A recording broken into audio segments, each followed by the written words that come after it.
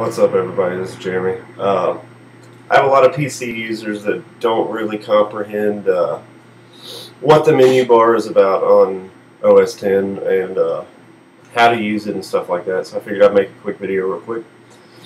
Uh, basically, on a PC with Windows, you've got uh,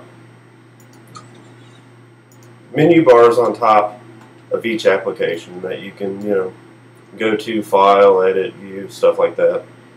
Where on a Mac you don't have that, which I like. It's a lot cleaner looking. But so the menu bar on a Mac is basically at the it's at the top of the uh, screen, and it changes every time you change applications. Uh, it'll change your uh, menu bar to the application that you're using. Like right now, I'm on Adium. I've got an IM up.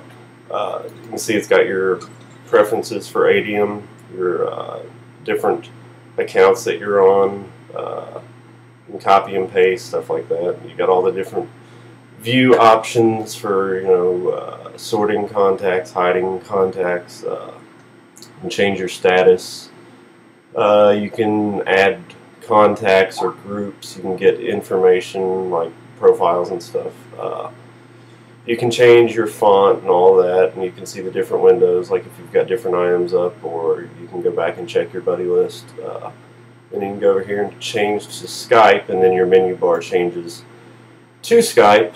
Uh, you got your preferences, you can check for updates, uh, close windows or chats, you know, copy and paste, uh, go into spelling, check it and make sure all that's correct.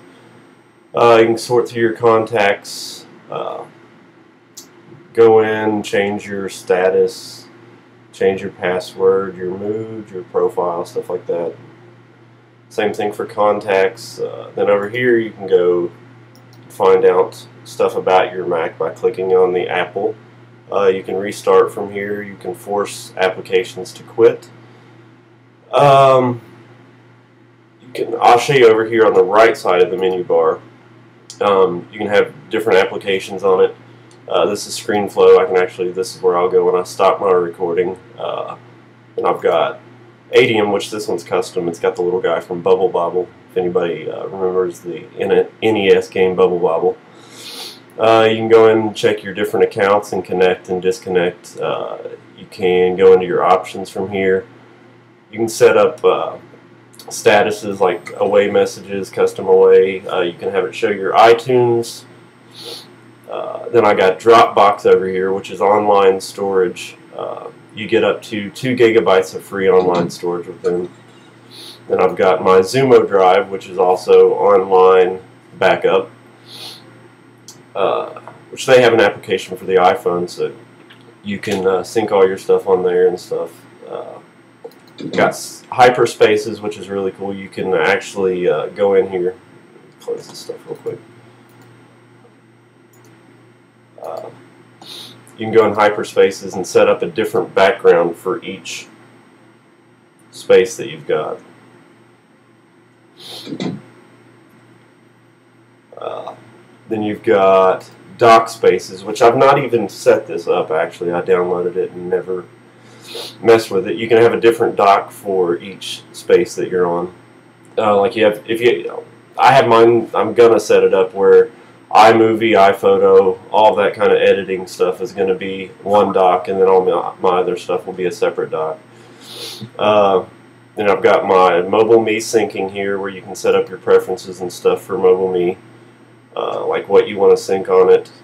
Uh, then you've got your time machine preferences, or you can have it back up now or enter time machine. Uh, got all your Bluetooth here, your Wi-Fi networks, which I got mine right here that I'm on.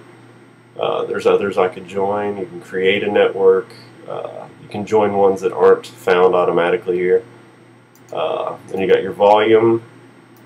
Uh, you've got your time and date. You can view it as analog or digital, or you can open it and whatever.